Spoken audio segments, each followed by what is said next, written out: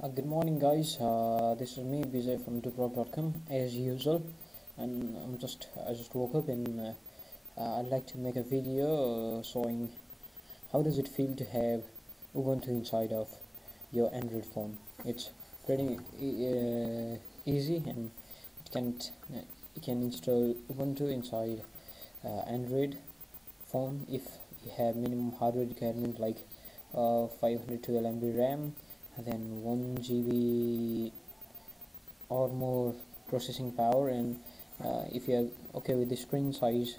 So uh, let me I already started the Ubuntu script and let me go to Android VNC and there I have uh, all the options. Let me connect it. And there it is in my mighty Ubuntu. It's a KDE because GNOME uh, Unity or GNOME works a little bit slow so I've installed KDE let me zoom inside to make you clear that it is Ubuntu. And you have here leaf pad and you have here GIMP image editor and on down you have the options.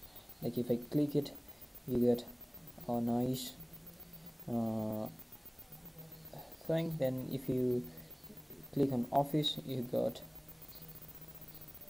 you got LibreOffice uh, let me go to LibreOffice writer mm. LibreOffice might be loading here. Here it is. LibreOffice 3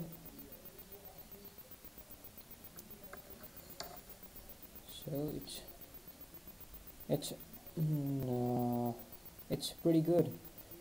It's uh, not as fast as it can be on desktop with the equivalent amount of RAM and everything but uh, beside that you give a one second uh, uh, difference value then it's okay. So this is the LibreOffice I can write here using mine uh, but I have to bring in a keyboard from this section. Look here I have got here something. So I've got a keyboard now. I can write it here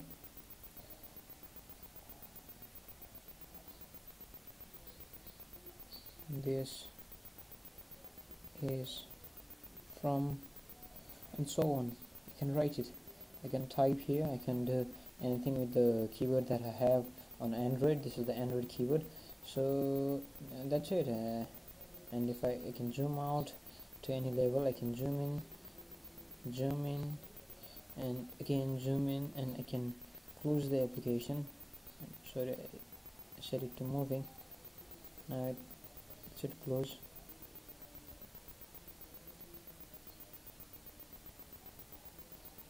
It's hit.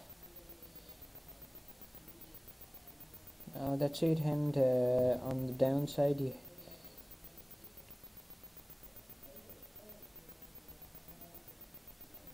so that's it. That's uh, all you have to do uh, with Android. So if you can you can multitask with Android and Uh, Ubuntu so let's let me play music here.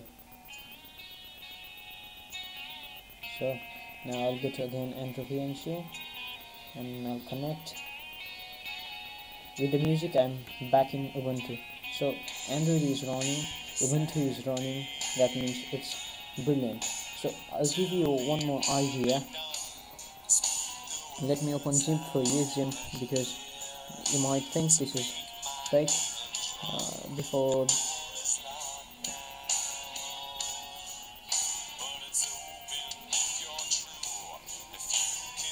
so this is Ubuntu and uh, you can open any application. You can install application. It's uh, not a compromised version. Of Ubuntu it's a complete version. Of Ubuntu it's 3.5 GB in fact and you can uh, do everything with it if you can.